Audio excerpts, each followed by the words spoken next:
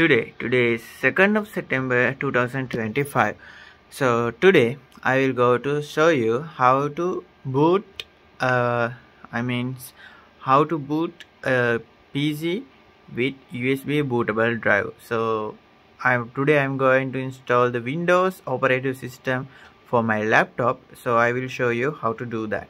So yeah. Uh, you can see in this uh, corner of the cards you can see how to make a bootable USB drive using PowerISO or you can use any bootable drive uh, bootable device maker drive make using a bootable device creating software. So Rufus is another software.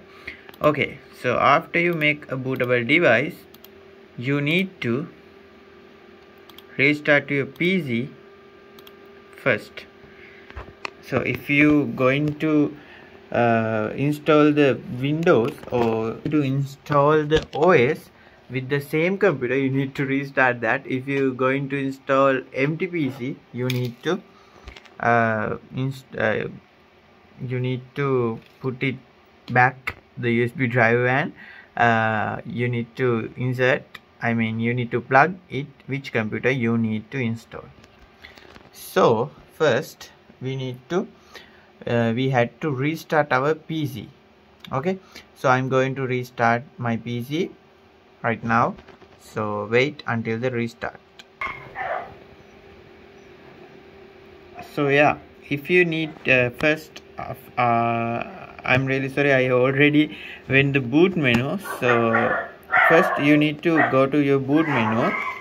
So I will so you, you need to go to your laptop or PC boot menu. So those are the keys for boot menu. Lot of uh, computers you can go to boot menu clicking ESC button F2 button or F12 F10 maybe delete. Those are the keys. So however you can search your laptop or PC um, model. Uh, maybe the laptop you have the model uh, in computer you can uh, if your computer is customized pc you can search your motherboard uh, motherboard model number or motherboard uh, brand name on google then you can find the bootable key.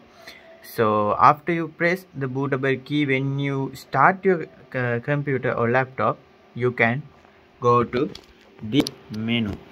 So after you went this boot menu you have the option to go to the boot section. So after you go to the boot section you have the priorities of the order. So first we need to uh, take our take into our mind what is your hard drive.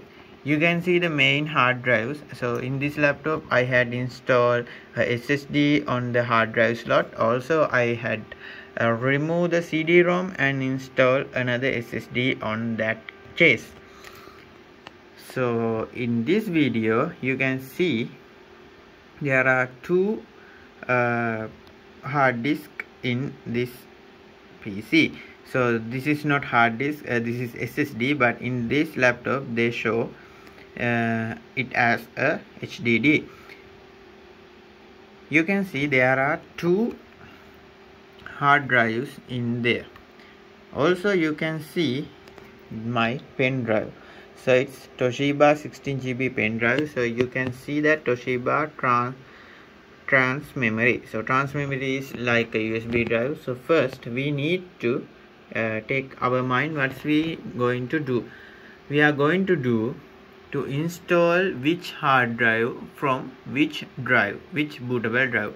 So we need to take the bootable drive the priority list order first so you can uh, check which keys you you can uh, change the value. So in this BIOS setup you can change the value using F5 and F6 so when I click click uh, F5 and F6 buttons you can see the order will go up and down. So first we need to go take the Toshiba trans memory my bootable USB drive to the first because we need to take this first and then we need to take our ssd or H hdd or nvme however your your your computer main storage as the second option. So i said uh, i take my 5 uh, 512 gb nvme toshiba this is my uh, primary storage so i take it into the second option. So after that you need to save and exit.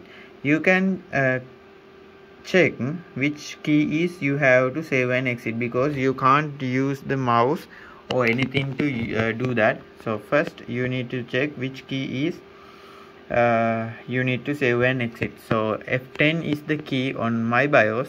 So I click that and yes. You can see uh, the com computer or laptop is uh, power off and again it will be start automatically. This is not restart it's power off and automatically started.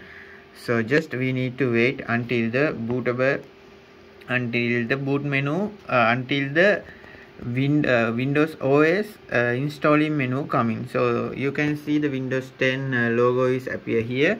So you can see there are a wo uh, yeah this is the menu. So if you got this menu it is the first step of we are going to install the windows. So you can see first we can change the language. So I already kept this is my primary language. Uh, this is my not my mother tongue but I will use this language. Also time and currency I will keep this and keyboard uh, input method. I kept those settings. You can go to next and then you can see the install now button. So after you click that you will starting the setup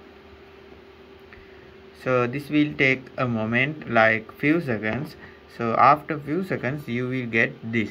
This is the options you can uh, you can activate your windows. Uh, i mean if you have uh, your own key you can use oem windows will automatically install the same version original equipment oem so pro version digital key you need to activation and the pro standard installation for those with on license key. So i'm going to install automatically uh, oem version. So go to next.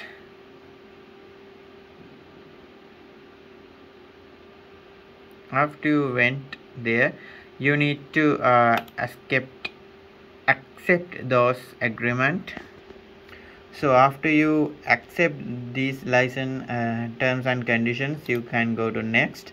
And then you can go to custom install install windows only because uh, if you have internet connection if you connected your internet connection or you have uh, internet connection on that time you are installing this process you can go to upgrade. But I don't have so I'm going to custom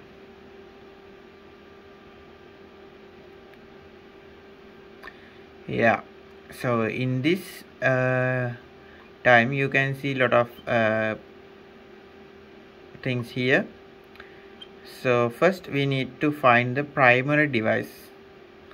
So you can see a uh, lot of hard drives in your your side. So you need to select uh, your primary device. So i will select my primary device right now. So finally you select your primary storage uh, which you need to install your OS so click on next. So after they will ask if you have some files previous file those they will be formatted format. So this is the process windows will going to install. So this process you need to wait 100% of this uh, copy getting ready to installation to 100 percentage. So if that finished you can go installation features. So in this time you need to eject your pen drive. Keep in mind after this uh, present uh, 100 percentage done then go into installing features. So after that you have to uh, you have to restart your pc it will be automatically done. So after that you must need to eject your pen drive so this is the process you need to do in installing windows. So after that you don't need to do anything. Then uh, that that will be automatically done after you eject your pen drive. So yeah this is the video. How do I am going to install the Windows OS on my laptop? So thanks for watching. I will take a lot of videos like this in next video. So see you guys in next video. Bye bye